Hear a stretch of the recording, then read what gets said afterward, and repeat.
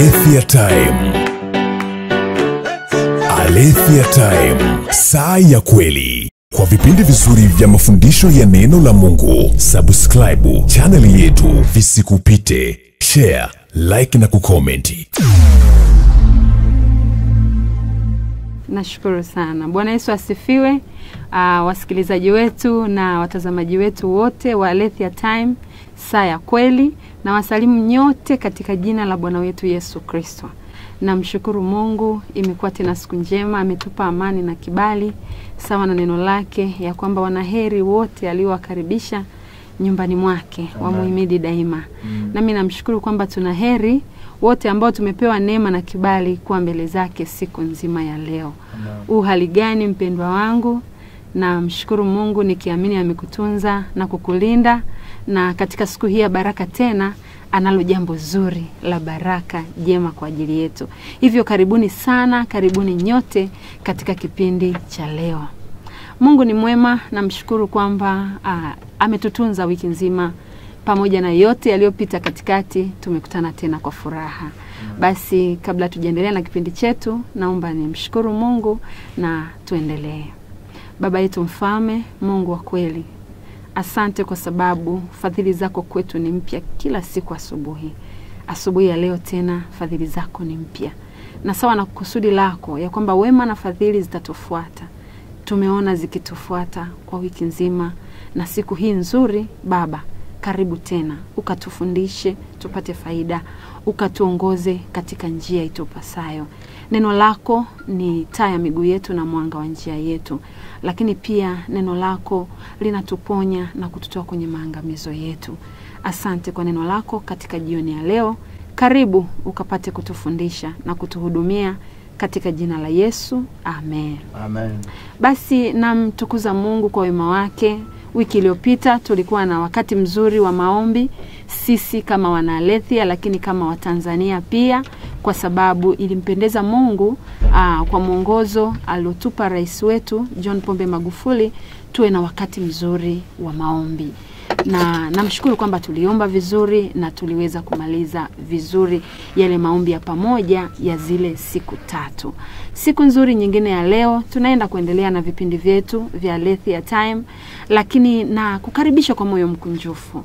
Na mimi niseme Alethea kama unavyoisikia, ni saa ya kweli, ni wakati wa kweli. Yesu Kristo mwenyewe ndiye njia na ile kweli na uzima. Na hivyo wakati huu tunapojifunza maneno yake mazuri, yeye aliye kweli analipeleka neno lake ambalo ni kweli, na akasema, mkikaa katika neno langu mtakuwa wanafunzi wangu kweli kweli, nanyi mtaifahamu hiyo kweli, na hiyo kweli itawaweka huru. Wakati huu ni wakati wa kuifahamu kweli kweli iliyokusudiwa kutuweka huru. Huru, mbali na vifungo vyote vya adui, viwe ni vifungo kuanzia vya ujinga na kutokujua, maana kutokufahamu, kuto, kukosa maarifa ni kifungo, lakini kweli ya Mungu inatusaidia kutoka katika hatua ya kutojua, inatupeleka katika hatua ya maarifa, yale maarifa ambayo Mungu akasema watu wangu wanaangamia kwa kuwa hawa hawana maarifa, wamekosa maarifa. Kumbe hatua ya kwanza ya Mkristo katika kufunguliwa, tunapenda kuombewa kufunguliwa, tunapenda kutamani Mungu atufungue. Kuna maneno mengi deliverance, kila mahali, kila mtu anasema, lakini mimi nakwambia true deliverance, first step ni kuifahamu kweli. Hatua ya kwanza muhimu katika kuwekwa huru, katika kufunguliwa, katika kukombolewa ni kuifahamu kweli. Hiyo kweli ndio inatupa uhuru wa kweli kweli. Amen. Wakati huu tunapoifahamu, tunapoenda kukaa na kujifunza tuifahamu kweli ya Kristo, ninakuomba sana mpendwa wangu, ndugu yangu, cha kwanza umakini wako, lakini pata dakika chache, pata sekunde chache, tuma meseji zako, waalike warafiki zako, waalike wapendwa wako, wakumbushe ndugu zako ya kwamba saa ile nzuri, saa ile ya baraka, saa ile ya, ya, ya, ya furaha, saa ile ya kukaa miguuni pa Bwana Yesu na kujifunza maneno yake ya ya uzima ndiyo sasa. Tunawakumbuka wadada wawili Martha na Mariamu, na wao Bwana Yesu aliwatembelea nyumbani kwao mmoja akachagua kukaa miguuni pa bwana na kusikia maneno ya uzima. Mwingine akawa bize bize japokuwa ni kwa ajili ya bwana naye alikuwa anaandaa chakula anahakikisha mambo yako sawa lakini mwenzake aliyekaa bwana yesu alimsifu akasema huyu amechagua lililo bora zaidi. Kumbe nyakati ambapo bwana yesu yupo tayari kutufundisha kweli yake anapenda tukae tutulie tuisikie. Unafahamu una ndugu yako ana mapito yake ana majaribu anapitia ana hali ngumu ambayo inamsumbua. Amekuwa akikushirikisha niombee nisaidie amekuwa anakuambia njoo ongee na mke wangu ongee na mume wangu. Ana tatizo hili. Wakati huu mwambie hebu kaa usikie bwana ana neno gani kwa ajili yako. Hii kweli ndio itakayofungua ndoa yake. Hii kweli ndio itakayofungua uchumi wake. Hii kweli ndio itakayofungua afya yake. Naomba tubadilike kutoka kwenye hatua ya kungoja tu. Ataomba. Mtumishi wa mungu ameshaomba ah, bado anahubiri akimaliza akitaka kuomba mniite na mimi aniombee mpendwa wangu hakuna maombi yenye nguvu kama hayana neno nyuma yake Amen. mungu akamwambia mtumishi wake yeremia ninaliangalia neno langu ili hilo nipate kulitimiza. Ahadi za mungu zote zina- zinajengwa katika neno alafu tukisimama katika hizo tukaomba mungu analiangalia neno analitimiza kwetu. Imani chanzo chake ni kusikia na hakuna muujiza unaotokea bila imani. Yote yanawezekana kwa aminie. Unaamini baada ya kusikia Kus, kulisikia neno la kristo baada ya kusikia inajengwa imani. Ile imani ikikomaa sasa inazaa muujiza. Kwa sababu hiyo ndio itakwambia neno la leo limeniambia hiki. Kulingana na mafundisho haya mimi namwamini mungu atanitendea hiki kwa nakuomba sana au ni katika kipindi hiki cha Lethia Time au huko kanisani kwako unamsikiliza mtumishi wa Mungu anayekufundisha, ujue kwamba sehemu ya neno ni muhimu kuliko hata ile ya, ma, ya, ya, mao, ya maombi na maombezi, kwa sababu neno ndilo linaweka msingi, ndilo linatengeneza msingi mzuri wa nyumba, alafu kama ni maombi na vitu vingine vinajengwa juu ya msingi huo wa neno. Amen. Alethea Time, saa ya kweli, saa ya wewe kuisikia kweli ya Mungu, saa ya wewe kuijua kweli ya Mungu, saa ya wewe kujazwa ndani mwako, sawa na neno la Mungu linavyosema ya kwamba neno la Mungu likae kwa wingi ndani yenu, kwa wingi ndani yenu. Hilo ndio tunatakiwa kulijaza zaidi na zaidi na zaidi linapokaa kwa wingi ndani mwetu, hakika tunazi, tutazidi kumwona Mungu akituhudumia, akitutendea, akitu, akitusikia hata tunapomwita, kwa sababu hatutamwita kwa maneno yetu, tutakuwa tunamwita sawa sawa na neno lake. Naomba Amen. wewe mwenyewe jitume, wewe mwenyewe fikiri nani wakati huu nahitaji kumsaidia nahitaji kumu, ku- ku- kumkumbusha. Mwambie mpigie simu hata kwa dakika moja ndugu yangu mpendwa rafiki yangu mpendwa ah, mama yangu baba yangu. Ni wakati ule mzuri. Hebu msikilize mtumishi wa mungu anapoendelea kutufundisha kweli. Naomba tuipende kweli. Naomba tujisikie furaha kukaa miguuni pa bwana na kujifunza kweli. Niliwahi kukusomea hapa siku moja kitabu cha zaburi kinasema sheria ya bwana naipenda inaburudisha nafsi. Neno lake ni tamu kuliko sega la asali ni la kutamanika kuliko dhahabu tena dhahabu safi karibu sana tuendelee kuisikiliza neno,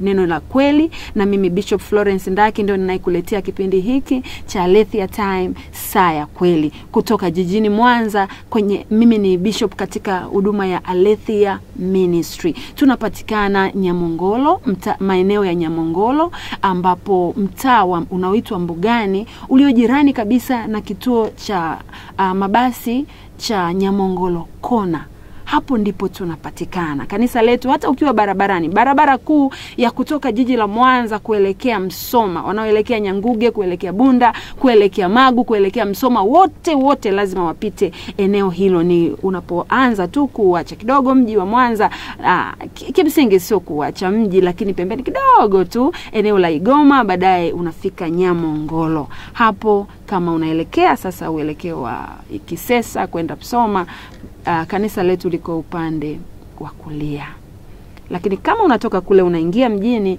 basi ni upande wako wa kushoto. Karibu sana, na namba zetu za mawasiliano waweza kutupata, waweza kushiriki nasi, na hata katika kipindi hiki unayo nafasi ya kushiriki nasi kwa namba za simu sifuri saba nne tatu sifuri thelathini sifuri ishirini na sifuri sita saba sita mia sita sitini mia moja hamsini na tano. Basi nakukaribisha sana na ninaomba sasa niende moja kwa moja kwenye neno la Mungu. Aa, nikurejeshe tu kwamba tumekuwa tunaendelea na kitabu cha este kitabu ambacho kina mambo mazuri mengi sana tunajifunza humu ndani. este aliyekuwa yatima este aliyelelewa na mjomba wake au mpwa wake uh, Mordekai. Esta aliyekuwa hai, hayuko kwao kwenye nchi yao ya asili ya wazazi wake, nchi ya Israeli au Uyahudi, lakini wakati huu Esta yuko nchi ya utumwa Babeli, na hatimaye Babeli ikatwaliwa ika, ika na Wamedi na Wajemi. Kwa huku ni Umedi, huku ni chini ya mamlaka ya mfalme Ahasuero. Wakati huo uh, mfalme Ahasuero akiwa anatawala, tunaona mazingira ya kijiografia, Waisraeli walikuwa wana hali fulani ya kunyanyapaliwa. Ni kabila au ni jamii ya watu waliokuwa wana nguvu za rohoni na kile kitendo cha wao kuwa na neema ya rohoni katika jinsi ya mwili walionekana ni tishio. Hili naomba niliseme kwa kulirudia tena kwako, ya kwamba katika dunia hii ambayo Biblia iko wazi ya kwamba shetani ni mungu wa dunia hii. Shetani kama mungu wa dunia hii anajua kuwajua wana wa Mungu, wana wa nuru, wana wa kweli na kuwatofautisha na wakwake wa giza. Kwa hiyo wale walio wa kweli, wale walio wa Mungu, wale walio na agano takatifu hupenda kuwatesa, hupenda kuwasumbua hupenda kuwa kuwaharibia mambo yao ili kusudi wasiwe na furaha, wasikae na Mungu wao vizuri, ili wapate sababu za kuhamia kambi yake Shetani. Esta akiwa utumwani, akiwa uhamishoni, wazazi wake bahati mbaya wakaondoka wote, mpaka tunapoandikiwa habari zake kitabu cha Esta tunamkuta akiwa ni binti yatima. Lakini pamoja na uyatima wake Mungu alikuwa mkarimu kwake, na hili ndilo naomba sana niongee na wewe leo. Naomba sikio lako, naomba moyo wako, naomba usikivu wako. Leo kuna kitu Bwana anataka ahudumie watu wake kupitia habari za Esta. Esta alikuwa yatima, yatima aliyekuwa amelelewa tu na ndugu lakini yatima aliyepewa neema siku ya siku, wakati Mungu ametengeneza mazingira yasiyoweza kutambulika vizuri kibinadamu. Nini kilitokea hasa mpaka mfalme akafanya karamu? Kwenye ile karamu akamwita aliyekuwa mkewe, yumkini mkewe wa muda mrefu tu, miaka ya kutosha tu, kiasi kwamba watu walishasahau kwamba kuna possibility tena, kuna uwezekano tena wa mfalme kuoa lakini Mungu alitengeneza mazingira, Mungu alitengeneza kisa kiasi kwamba wale wanandoa wakafarakana, mafarakano yaliyopelekea kutalikiana. Mfalme Ahasuero akamkataa kabisa malkia Vashti na akasema hamtaki tena. Kwa hiyo Vashti akafukuzwa mpaka kwenye ufalme, akatolewa kabisa. Lakini kumbe Mungu ambaye njia zake hazitambulikani, makusudi yake hayawezi kujulikana anasema hakuna wezai kujua kazi yake inaanza mpaka inaishaje. Kumbe Mungu alikuwa anatengeneza mazingira kwa ajili ya Esta. Mungu anatengeneza mazingira kwa ajili ya yatima, kwa ajili ya binti ambaye alikuwa hajui furaha ya wazazi, yumkini hajui furaha ya maisha kwa sababu ya upweke, kwa sababu ya unyonge katika uyatima wake na yumkini alikuwa amemwomba mara nyingi, kwa nini mimi Mungu nimezaliwa hivi? Kwa nini leo sina raha ya maisha? Kwa nini mimi ni yatima? Pamoja na kuwa yatima, bado tuko kwenye nchi ya ugeni. Yule aliyesikia maombi ya Esta, wakati ulifika, alikuwa radhi kuvunja ndoa ya watu, lakini amweke amtakaye. Mimi nakwambia wewe unayempenda Bwana Yesu, wewe ambaye umempa tumaini lako na maisha yako, kwake ni wa thamani sana sana. Wewe ambaye umempa Bwana Yesu kila kitu na kujikabidhi kwake na kumwambia mimi ni wako. Yumkini katika mweli huu sina cheo, sina elimu kubwa, sina mali nyingi, sina ndugu, sina wa kunipenda, sina wakunithamini lakini yupo anayekuthamini. Naomba nikuambie maneno yake katika kitabu cha Hagai. Kitabu cha Hagai. Mungu ana ahadi, naomba uishike, na naomba wewe ambaye unanisikiliza, hebu chukua notebook yako leo. Natamani kabisa kabisa nitakachokiongea ukitunze, natamani ukitunze, natamani maneno yakae moyoni mwako, kwa sababu au yatakufaa leo au ni akiba yako kwa siku zijazo, kwa sababu hata Esther haikumchukua mwaka mmoja au miwili kuishi lile kusudi ambalo Mungu alimkusudia. Ilimkosti tangu akiwa mdogo mpaka anakuja kuwa binti, mpaka anafikia umri wa kufaa kuolewa, akiwa anaendelea kusota katika uyatima na katika maisha ya unyanyapaa waliokuwa wanafanyiwa Wayahudi kule Shushani ngomeni na kwenye ufalme wote wa aswero Kwa hiyo kuna wakati kusudi la Mungu sio la muda mfupi. Hapo naomba sana ujue. Ndio maana anasema maneno yangu ya leo Bwana anataka kusema na wewe, lakini yumkini ikawa ni ahadi ikachukua muda au miezi au mwaka au miaka kadhaa kutimia, lakini hakika yatatimia. Mungu wa Esta ndiye Mungu wetu na atafanya. Binafsi nimemwona kwangu na hakika kwako atafanya. Kitabu cha Hagai. Hagai sura ya pili mstari wa sita mpaka wa nane.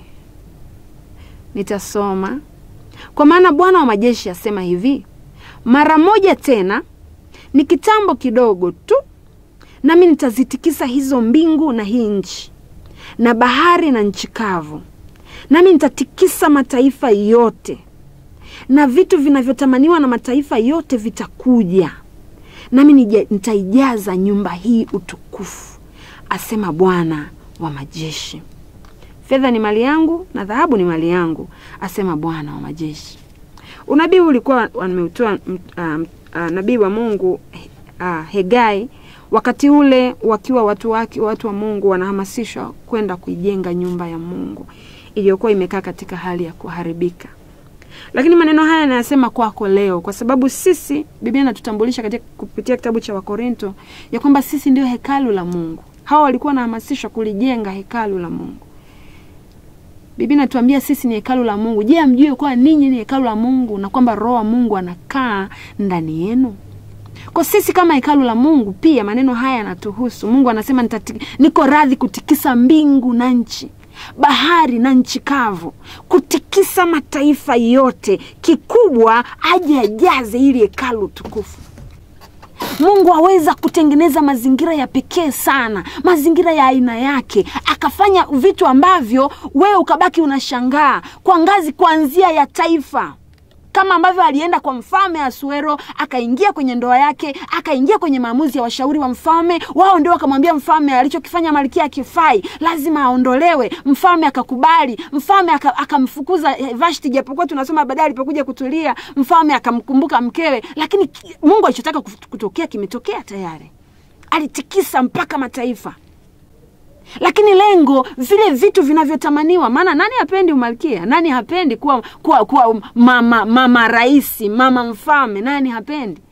Anaahidi vitu vinavyotamaniwa vitakuja kujaza nyumba hii utukufu.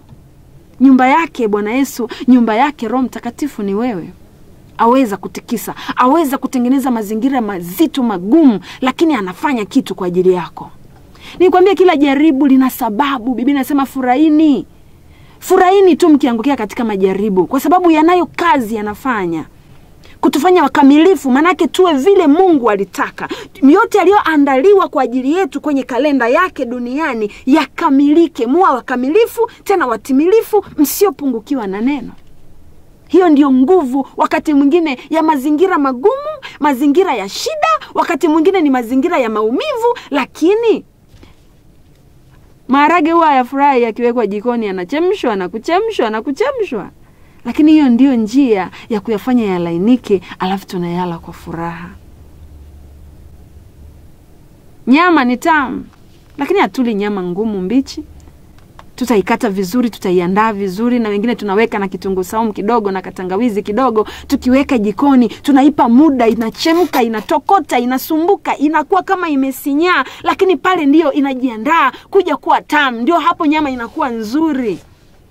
Wakati mwingine mchakato wa Mungu wa kutufikisha pale pazuri, wa kutufikisha mahali pa amani, mahali pa baraka, tuwe wakufaa sisi na kuwafaa wengine, tuwe wakufaa kwenye familia zetu, maisha yetu, nyumba zetu, na kuifaa jamii yetu, kulifaa kanisa la Mungu, kulifaa taifa la Mungu. Kuna wakati inabidi ukatwe katwe kama nyama, kuna wakati inabidi u, u, u, uandaliwe, kuna wakati inabidi upondwe pondwe. Tunafahamu mapishi vizuri. Nyama ukichukua kuna wakati unaiweka, unaponda ponda, unavunja zile faiba kwanza alafu ukishaipaka ukimarineti vizuri, ah, ukija kula unafurahia nyama.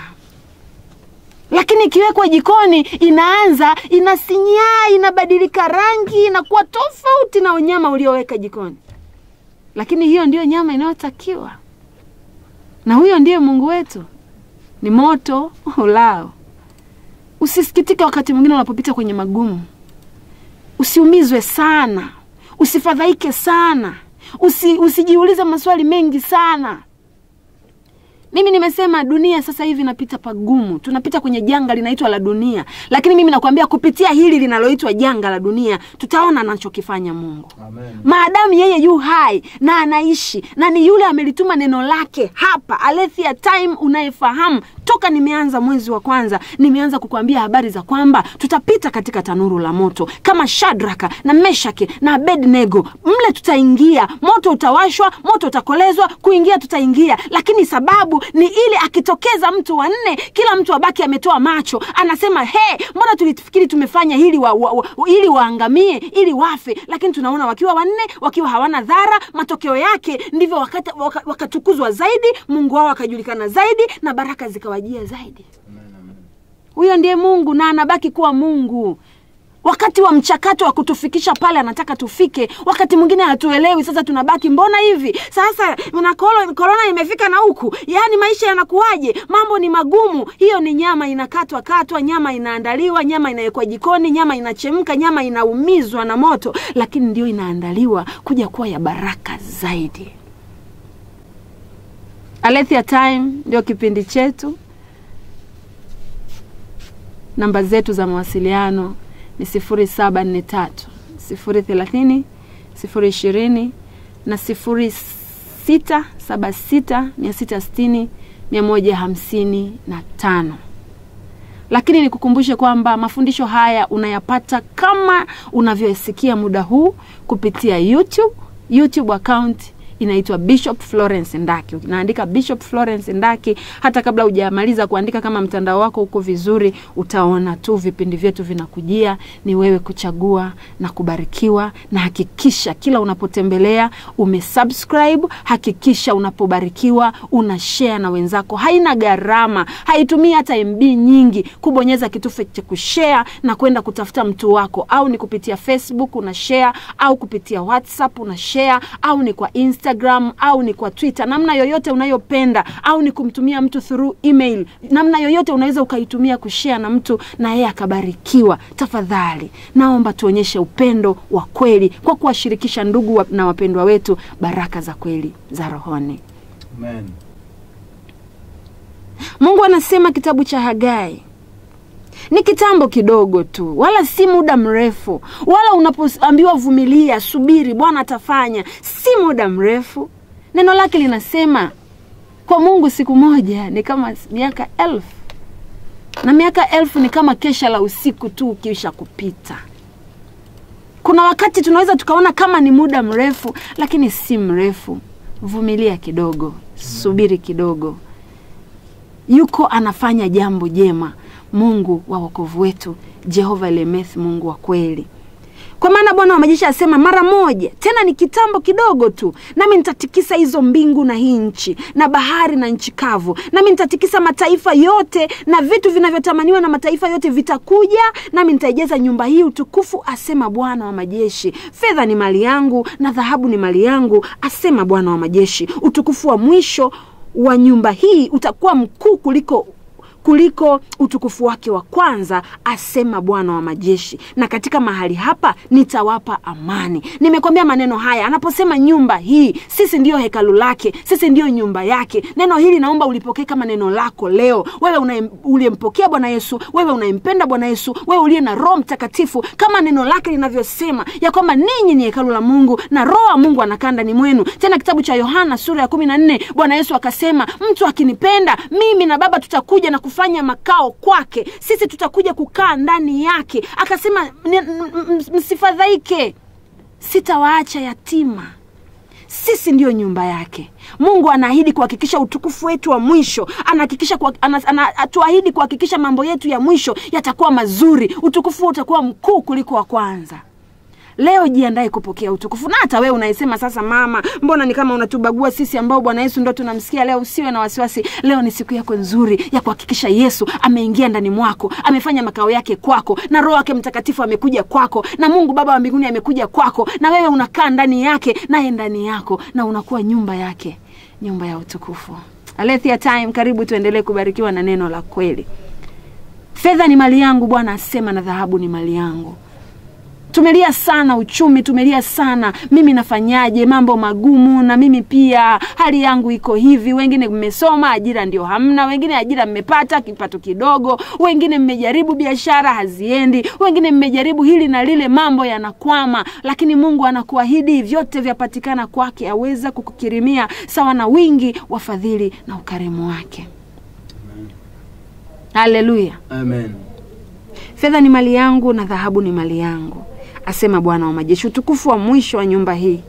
Tusiangalie vilivyopita tusiangalie yaliyopita. Biblia inasema ijapokuwa utu wetu wa nje unachakaa lakini utu wetu wa ndani unafanywa upya siku kwa siku. Tusiangalie yaonekanayo bali yasiyoonekana yanayoonekana ni ya muda sana ni ya muda mfupi ni ya muda wa kitambo tu. Na mungu anasema bado kitambo kidogo. Leo naomba noti neno hilo.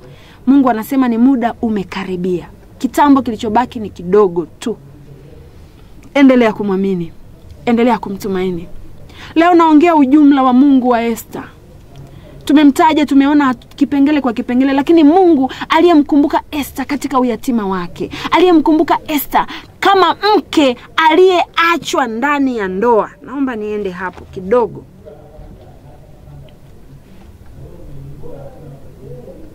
Sura ya nne ya kitabu cha esta mstari wa kumi na wa kumi na moja ndipo esta akasema na hathaki akamtuma tena kwa mordekai kusema watumwa wote wa mfalme wanajua sana. Hata na watu wa majimbo ya mfalme ya kwamba mtu yoyote akiwa mwanamume au mwanamke atakayemjia mfalme katika ua wa ndani wala hakuitwa kuna sheria moja kwake ni kwamba auawe.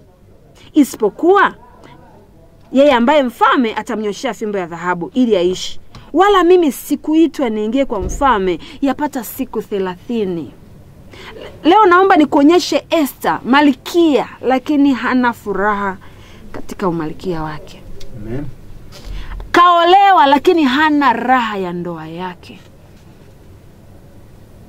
na tupo wengi kwenye hali kama hiyo. Ni kweli umeolewa, mume yupo, lakini mpaka unasema hivi, niliolewa ili uweje? Mbona hali ni ngumu? Mbona furaha ya ndoa siijui? Mbona mimi ni mtu ambaye utadhani nilikosea, utadhani ni kuolewa ndio mkosi wangu, ndio balaa nililolijitakia kwenye maisha yangu. Faida ya kuolewa ni ipi? Ndoa ndio imekuwa jaribu, ndoa imekuwa ndio kilio, ndoa imekuwa ndio maumivu ya moyo. Unasema laiti ningejua nisingeolewa. Mume wangu hanipendi, mume wangu ni wakunisema vibaya, mume wangu ni wakunikosoa kila kukicha. Nipike ni vibaya, niongee ni vibaya, nifanye nini ni vibaya, hata nijipende ni, nijipe- nijipende. Sasa mama ametufundisha jipende, mwanamke ni kujipenda. Unaenda unaoga, unachana kanywele kwako, na ukitokezea nakwambia hivi, wewe hivi uoga una akili gani? Hayo manywele manywele gani ya hivyo sasa? huna zuri kwenye ndoa chochote utakachoongea umekosea. Ni wa kutukanwa ni wa kuteswa. Wengine wanasema nilianza vizuri mume wangu tulikuwa vizuri miaka yote. Sijui ni shetani gani ameingia. Wengine hata shetani aliyeingia unamfahamu kabisa unajua kabisa mume wangu siku hizi ana mwanamke au ana wanawake wengine. Nimekuwa sina thamani ni maumivu ni mateso. Wengine anakufanyia mbele zako na anakuambia sasa si uniache kwani na wapo ambao mpaka wakwe mpaka mawifi wanakuambia "Ih, kwani kaka yetu nani alikwambia ni wakwako peke yako? Yapo ninayoyaongea haya. Mimi ni mtumishi wa mungu ni mchungaji ni mama ninakutana na mengi kwa wengi. Mpaka mama wa watu anajikatia tamaa ameshaambiwa kwamba unafikiri mtoto wetu u- a- u- wa- wa kwako peke yako? Mwache si mtu mzima. Mwache si mwanaume lakini unaumia unateseka.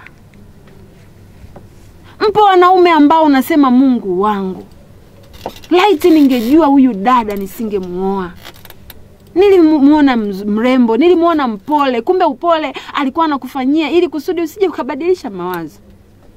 Nyakati za uchumba nyakati zile za kukumbukana ah, alikuwa mpole. Amna eh, eh, anajifinyafinya vidole unasema ja nimepata mdada yani ah, se ah, mungu anipe nini? Akija mwenyewe na vimacho. Yaani wewe harusi lini sasa? Kumbe mdada anapigia hesabu. Nihakikishe harusi imefungwa kwa gharama zozote. Baada ya ndoa ndio unakuja kujua nina mbwa mwitu kwenye ngozi ya kondoo hapo ndipo anasimama na kutolea jicho anakupandisha juu na chini anakwambia mwanaume mwanaume suruali. Sasa unanipa ka elfu ishirini aka kanifanye nini? Yaani hapa hapa kwenye elfu ishirini ninue nguo nipate na kiatu na nini na bado unataka eti twende kwenye harusi utaenda mwenyewe. Unaambia mke wangu ni kidogo tu si angalau basi chochote upate. Anakwambia wewe. Kwa hiyo umekuwa toka umeoa maisha ni ya hivyo tu. Wewe ni kuangaikia kukuvalisha mama wewe ni kuangaikia kumpendezesha mama maendeleo ndani hamna. Ukimwambia tutununua hata kiwanja anakuambia hii na korona hii kiwanja cha nini? Unaweza ukajifia kesho hata hujawahi kunani. Yani unasema mungu wangu nikimbilie wapi mimi? Amen. simu yako imekuwa tabu. Ole wako simu iite. Nani? Wa nini? Anafanya nini? Anasemaje? Yaani ni shida mpaka unasema light nisingeoa. Na hapo ndipo unakuta mazingira ya hivyo kuona ndoa huwa hawajui. Kama unayafanya baba unamlazimisha huyu dada amkumbuke kaka matayo kaka ronald aliyekuwaga anampenda kipindi hujamchumbia alikuwa anamjali alikuwa anamwonyesha upendo na hata leo huwa anamwambia eh, basi tu nilikukosa lakini kwaga nakupenda sijui kwani ulinikataa. Wakati we ndani unamnyanyasa ndipo una, anamkumbuka yule ndipo siku hizi tunashuhudia tunashuhudia ndoa nyingi wameoa na kuolewa lakini wana michepuko nje. Wakati mwingine michepuko mnaitengeneza wenyewe.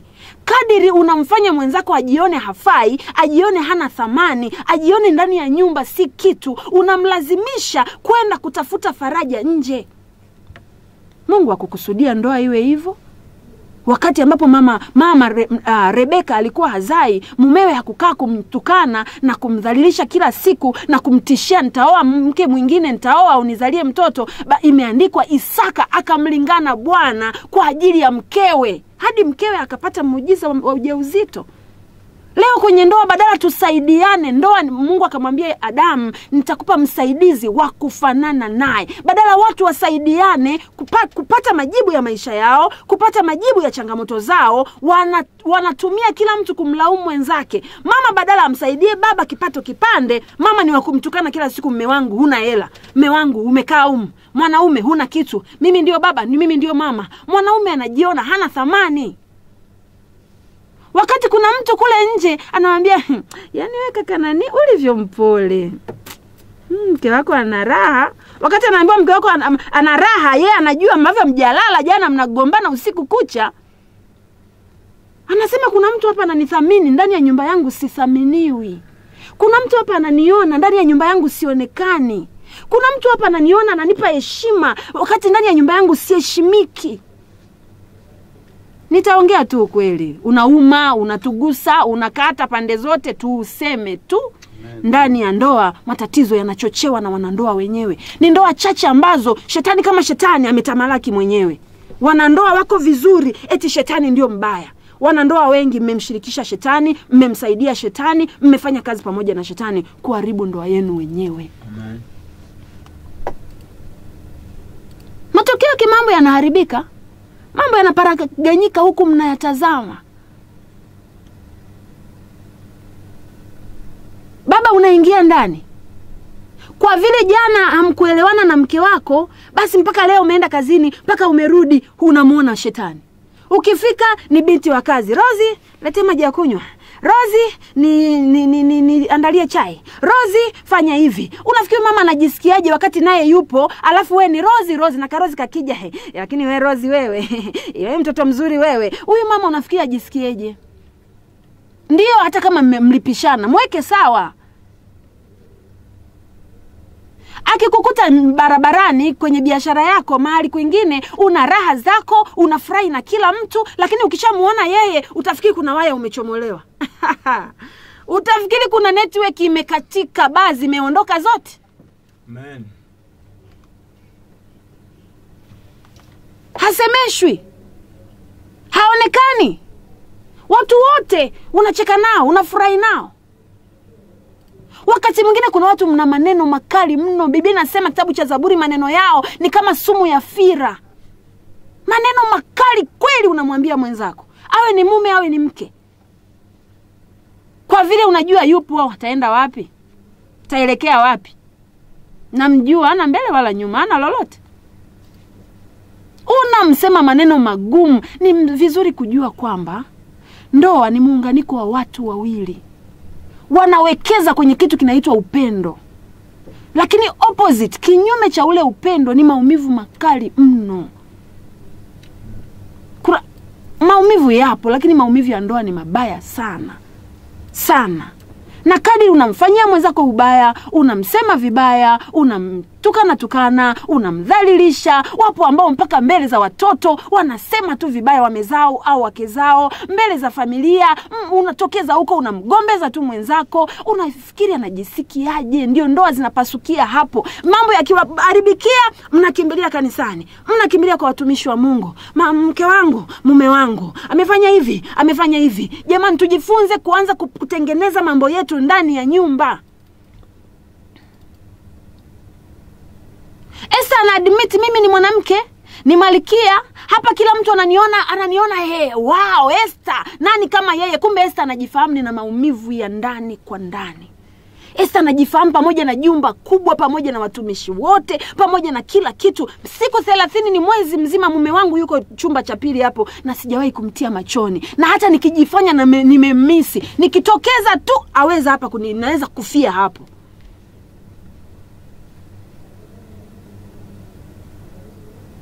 sio kila kinachong'aa ni dhahabu. Na naomba hili niliseme hata kwa mabinti zetu. Ah, mi mwanaume ana simu kubwa. Mwanaume ana gari. Sio kila kinachong'aa ni dhahabu mpendwa. Nafikiri maisha ni gari. Linaweza lenyendo likawa lina kukanyaga humo ndani mpaka mpaka. Kuna siku unachukua sumu unasema bora kufa. Na anakwambia hivi kwani we una nini? Ulikuja na chochote hapa kaa una nani nani, nini kwanza nipe ufungu wangu. Na alikupa gari umeshasema mashosti. "Hey, nimekuchezea nimepata! Unaonyeshea ufunguo kuna siku naambiwa lete hapa ufunguo wangu. Na vibao juu na mateke. Yes. Ndio ulikuwa nasema mimi kama mchumba ana gari hamna. Yaani karne hii ni wa kutembea tembea na vumbi. Na matope saizi. Hey. Ah, gari ni nzuri mi sikatai gari Amen. Amen. iwe tu baraka ya bwana sio baraka ya kulazimisha Yes. ya bwana ndio inatajirisha Amen. hizi baraka za kufoji za, ku, za, ku- za, ku- za, za kugushi hizi zitakukosti kweli kweli yaani hana hata sofa yani emfikiria ana tu kitanda na nani hana hata kasofa lo wakati kuna yule mkaka wa living water ananitaka.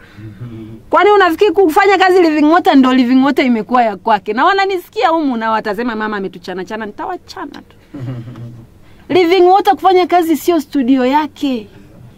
Anaweza kuwa anafanya kazi living water ana jina anasikika redioni ndio lakini hakuna lolote. Na pia anaweza akawa living water na amebarikiwa kweli na mungu ni mwema pointi yangu ni kwamba usiishi kwa kuangalia sura za watu majina ya watu. Kwani daudi wakati anaenda kupakwa mafuta alikutwa wapi? Alikutwa wapi? Alitu, alikutwa porini anachunga kondoo. Tena kaka zake wenyewe wameonekana wa maana mpaka wamepewa kazi za uaskari jeshi wako kwa mfalme huko wanafanya mambo makubwa.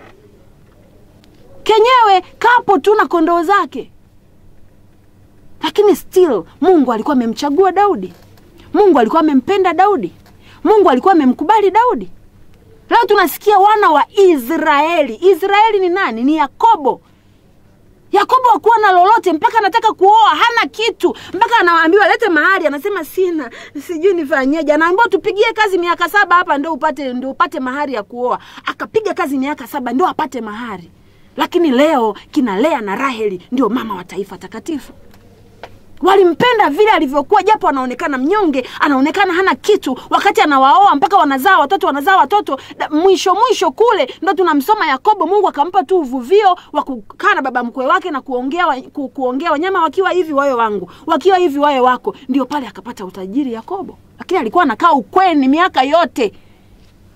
Anakaa ukweni anachunga ana, ana, anachunga ndo apate hata ugali wa watoto ndio maana ukisoma historia ya yakobo mwisho sasa labani anagundua vinyago, vinyago vyake vimechukuliwa. Anapomfuatilia yakobo na watoto wake ana, anamwambia yakobo we una nini? Umekuja kwangu huna lolote. Anamwambia hivi chochote ulicho nacho ni changu. Yani watoto wake zako wa kwangu watoto uliozaa wangu ng'ombe uzonazo zangu kila kitu una chako yakobo alafu leo wa, wana wa mungu na unajifanya binti umeokoka eti unamjua mungu na bado unaishi kwa kusema ah, yani mtu mwenyewe ana, anavaaga hizo suruali zenyewe zi- zimenani nani tu. Eti unataka waliochomekea mkanda nje? Wenyewe wameenda baba shop. Ni vizuri baba shop sio mbaya lakini chunga. Uyajui mambo haya akamuulize Esther. Esther Malkia, jina zuri, mambo mazuri, lakini maisha machungu. Alethia Time ndo kipindi chetu, na mimi ni mama wa ukweli. Ukweli huu waga ndo huu iko hivi vitu, tujue. Tukiukubali unatuweka huru, tukiukataa tutakayokutana nayo tusilaumiane. Yes. mm Amen. sifuri saba nne tatu sifuri thelathini sifuri ishirini na sifuri sita saba sita mia sita sitini mia moja hamsini na tano ndio namba zetu na ninaomba kwa moyo wako wa radhi wa upendo shiriki baraka hizi pamoja nami. Uwe mtenda kazi pamoja nami. Kwa matoleo yako sadaka yako ambayo ni kwa ajili ya kuhakikisha vipindi vyetu vinafika hewani na vinawafikia watu na kuwafungua na kuwahudumia sadaka hiyo itakuwa ya thamani. Naomba karibu ushirikiane nasi. Kwa mpesa kama nilivyosema ni sifuri saba nne tatu sifuri thelathini sifuri ishirini. Na tigo pesa ni sifuri sita saba sita mia sita sitini mia moja hamsini na tano. Karibu sana. Na tunapoendelea kusikiliza naomba nimekuomba sana. Usipende kusikiliza peke yako na kufurahia peke yako. Waalike na ndugu na jamaa na marafiki. Lakini ukijua pia kwamba mafundisho yetu yako youtube hivi kama unavyonisikia tena ni nzuri zaidi kwa sababu ni video na picha na kila kitu basi utafurahia sana. Kwa jina la bishop florence ndaki tembelea kule ubarikiwe na, nataka kumwongea mungu mfariji mungu ainuae wanyonge. Mungu anayetusaidia lakini nisiache kuongea habari zetu sisi kwa sisi. Mtu anayejishusha bwana yesu anaahidi atamkweza. Anayejikweza atashushwa.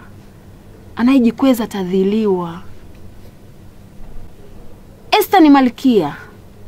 Lakini tunamwona este akiwa na wakati mgumu. Hili ndilo natamani tulione leo kwa upande huo mwingine Ni kweli Mungu amemwona Esta, alikuwa alikuwa yatima. Mungu amemtoa katika uyatima, Mungu amempa kibali, ameingia kwenye jengo la kifalme, amevikwa taji ya kifalme, amepata heshima ya kimalkia, ana mambo mazuri, lakini bado bado bado kuna huzuni inaendelea kufuatilia maisha ya Esta. Na hapa naomba kuna kitu kizuri niongee na wewe wewe ambaye si kwamba mambo mazuri hayapo, yaani sio kwamba hayapo kabisa kabisa. Pamoja na ugumu ukipita, huwa kuna neema fulani inakujia, na ugumu mwingine unaweza ukapita, lakini kuna jambo zuri litakujia. Lakini kinachokushangaza ni kwamba huwa sina furaha ya kudumu, huwa sina zuri la kudumu. Hata nikipiga hatua mbili nzuri, nitakuja nigongane na nyingine tatu mbaya nikiinuka kidogo nikipata biashara au kazi ni maisha yakatulia, lazima litatokea balaa kubwa litaniporomosha, kuniangusha na kunirudisha pabaya kuliko mwanzo. Yawezekana ni roho mbaya inakutesa. Tujifunze kwa Esta. Esta anajikuta kwa sababu zozote zilizo kafiwa na wazazi amehenya kwenye uyatima, amehenya kwenye kulelewa hivyo hivyo hivyo hivyo, lakini finally Mungu ni mwema, anamtengenezea mazingira, anaingia kwenye ndoa ya, ya kifahari, kila mtu anafurahi, kila mtu anamjua, anakuwa maarufu, lakini tena ndani ya ndoa hakuna furaha, hakuna furaha. Maswali ya msingi, kwa nini? Mpaka Esta sasa anapokuja kugundua nina tatizo ni kweli mimi ni malkia, ni kweli mimi niko kwa mfalme, lakini ni kama vile nina tatizo, ni kama nina roho mbaya inanifata, ni kama hali yangu pamoja na kuonekana machoni pa watu kwamba ni nzuri, lakini nina vitu vinanikandamiza. Ndio maana Esta akamwambia Mordekai, kwa hali ninavyoiona na mimi ninavyojijua, nina shida, nikitokeza kwa mfalme hapa naenda kufa. Lazima tumtafutie Mungu kwanza. Hebu mfunge na mimi nifunge kwa sababu hapa ninadili na tatizo langu binafsi na ninadili na wajibu nilionao kwa watu wa Mungu au taifa la Mungu. Yale maombi ndiyo yaliondoa shida ya Esta. Yale maombi ndiyo yaliondoa ile roho iliyokuwa inamfunika Esta, mpaka pamoja na kwamba tunaambiwa wazi kitabu cha Esta sura ya pili, wakati mfalme anam, anam, anam, anam, anampenda Esta, imeandikwa uh, sura ya pili nitasoma kuanzia mstari wa kumi na tano hata ilipowadia zamu yake Esta binti ya Abihaili mjomba wake Mordekai ambaye alimtoa kuwa binti yake ili aingie kwa mfalme, yeye hakutaka kitu ila vile alivyoagizwa na Hegai msimamizi wake mfalme mwenye kuwalinda wanawake. Naye huyu Esta alikuwa amepata kibali machoni pa wote waliomwona. Hii ni neema anayo Esta ya kibali, lakini pamoja na hicho kibali ana kitu kina, kibaya kinamfata, ana hali mbaya inamwandama kwanza ilianzia kwa wazazi, kalelewa kwenye uyatima, anaenda mbele za watu wa mfalme, ndiyo kibali anapata. Mstari wa kumi na sita basi Esta alipelekwa kwa, kwa mfalme Ahasuero katika nyumba ya kifalme mwezi wa kumi, ndio mwezi wa Tebethi, mwaka wa saba wa kumiliki kwake. Mfalme akampenda Esta kuliko wanawake wote, naye akapata neema na kibali machoni pake kuliko mabikira wote. Basi akamtia taji ya kifalme kichwani pake, akamfanya awe malkia badala ya Vashti. Kuliko wote akapata kibali, lakini upendo umeenda wapi? Hii neema alionayo Esta imeenda wapi? Sasa hivi Esta si kitu. Siku thelathini mume wake hana habari, yuko bize na mambo yake. Tunajiuza nini hiki? Upo wakati ni roho chafu zinakufata. Neema ya Mungu unayo, baraka unazo, lakini una shida na hii kama Esther alivyoamua kuchukua hatua nzito, siku tatu hakuna kula wala kunywa, na akaona hii nguvu peke yangu siwezi. Kwa sababu Esther, kwa nini anaagiza ufunge? Mordekai funga na Wayahudi wote, na mimi huku na vijakazi wangu. Esther lazima alishafunga, lakini maombi ya peke yake aliona hayatoshi, nguvu ya peke yake aliona haitoshi. Hapa niongeze nguvu, nishirikiane na, wa, na watu wangu, nishirikiane na watu wa Mungu, tuweke pamoja nguvu ili Mungu anipe kibali tena Mungu anipe neema tena mbele ya mume wangu, pamoja na kwamba ni mume wangu kwa sasa hivi nimepoteza. Mungu ainuke tena, lakini pia mbele yangu kuna majukumu mazito na makubwa. Mungu ayaangalie. Jitafakari wewe ndugu yangu, si kwamba umekuwa na mabaya tu au una mazuri tu, lakini likija zuri huwa kuna baya linaingia, likija zuri huwa kuna mkosi unaingia. Ukipata zuri lazima doa liingie. jua iko shida na kuna haja ya kuchukua hatua, tena hatua madhubuti. Ndio maana Bwana Yesu akasema kuna vitu namna hii haitoki mpaka kufunga na kuomba. Wakati mwingine mpo ambao nilienda kwa mtumishi akaniombea, lakini shida bado haijaondoka. Wewe umemwachia mtu akubebee mzigo. Biblia inasema huku mkimtwika mkimtwika fadhaa zenu. Bwana Yesu tunamtwika fadhaa zetu pamoja na kuombewa, na hata mimi leo hapa nitakuombea, lakini na wewe beba mzigo, mpelekee Bwana Yesu, mtwike. Anajishughulisha sana na mambo yako, anataka akusikie. Imeandikwa, uchungu wa mtu anaujua yeye mwenyewe. Esta akafunga akiwa anashirikiana na watu wa Mungu, maombi ya kumaanisha siku tatu. Baada ya pale ndo akasema nikamwone Bwana kama ametenda. Akiwa na imani akavaa mavazi yake ya kifalme akatokeza kwa mfalme, na aliona mkono wa Mungu ukimsaidia. Jitafakari, nataka ujitafakari kidogo, lakini nikiwa nimekutia moyo kwamba yule Mungu aliyemwona malkia akamsaidia, aliyemwona yatima akamsaidia, ni Mungu wetu leo. Natamani hilo neno pia likuingie, ili hata ukisema nachukua hatua, uende na hizo hatua kwa imani na matumaini, na usimame na kitabu hiki na usimame na Esta huyu, kwamba Mungu mwaminifu, Mungu mwenye nguvu, Mungu wa kweli, wewe uliyemtendea Esta, najua na kwangu utatenda. Na hivyo naomba shida yako, tatizo lako lisikupe tabu sana. Hatupo kama wasio na matumaini lakini tukijua kweli hii kweli inatuweka huru. sifuri saba nne tatu sifuri thelathini sifuri ishirini. Naomba nipokee simu mbili tatu za watu ambao mna vitu hasa vya kuongea kidogo. Sifuri saba nne tatu sifuri thelathini sifuri ishirini au sifuri sita saba sita mia sita sitini mia moja hamsini na tano. Naomba kupokea simu chache, halafu tutahitimisha kwa maombi ya pamoja. Mwamini Mungu, wewe ambaye wewe ambaye unahitaji Bwana akutendee. Halo, nzuri. Habari yako? Naongea na nani? Unaongea na Neema Kiseke. Neema, unaongea toka wapi? Kiseke. Kiseke. Karibu Neema, unasemaje kwa neno la leo ulilolisikia? Asante, nimebarikiwa sana na ujumbe wa leo, Amina. lakini kikubwa sana napenda tukawa kwa naongea kwa upande wa watu ambao wako kwenye ndoa Mm, kama ulivyosisitiza, ndoa ni ya watu wawili. ndio. Kwa hiyo na ukiangalia sasa hivi matatizo mengi ya kwenye ndoa Mm, asilimia kubwa yanasababishwa na asilimia kubwa sana ni wanaume. mm, Kwa hiyo wanawake wengi kwa sasa hivi wamekuwa wamejitambua sana na wamejua nafasi zao na wamejua kuchangamkia fursa, kutafuta na kumtafuta Mungu, mm, na asilimia kubwa wao ndo wanahudumia familia. mm, Kwa hiyo sasa, kama ni hivyo basi, tunaomba waume Mm. wetu mm. wabadilike, wajue nafasi zao wenyewe kama kichwa cha familia na sisi tuko tayari kuungana nao na kuhakikisha kwamba familia zetu na ndoa zetu zinakuwa na amani. Amina. Asante sana Neema, ubarikiwe sana. Amina. Akina baba mmeambiwa, akina mama wanajitambua, wako tayari kufanya vizuri, wanaomba muamini, wanaomba msimame pamoja nao, wako tayari kushirikiana na ninyi, na mimi naamini kwa neno la leo ndoa zetu zimepona kwa jina la Yesu. Kwa neno la leo, kina baba, kina mama, mtasimama vizuri na kuweza kumtumikia Mungu kwa pamoja vizuri. Simu nyingine hapa. Halo. Amina, amina. Habari za jioni.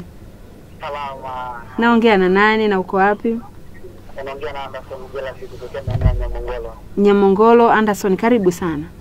Eh, asante sana. Unasemaje kwa neno la leo ulilojifunza? Neno la leo tuna niseme na nishukuru Mungu pia nikushukuru na wewe pia ambaye Mungu amekufunulia Mm, neno hilo ambalo ni neno zuri ambalo ni kwa ajili yetu vijana na kwa ajili ya wazazi wetu. amina, amina. Ila niwe na neno kidogo kwa ajili ya vijana. Mm, vijana. toka katika kitabu kile cha Yohana wa kwanza mstari wa pili mstari wa kumi na nne Mm, pale kuna neno Mungu tuna neno pale la vijana sema kwamba nawaandikia nyinyi vijana kwa sababu mna nguvu na neno la Mungu linakaa ndani yenu. ndiyo Neno hilo linatusaidia katika maisha yetu sisi vijana, pia hata wazazi wetu.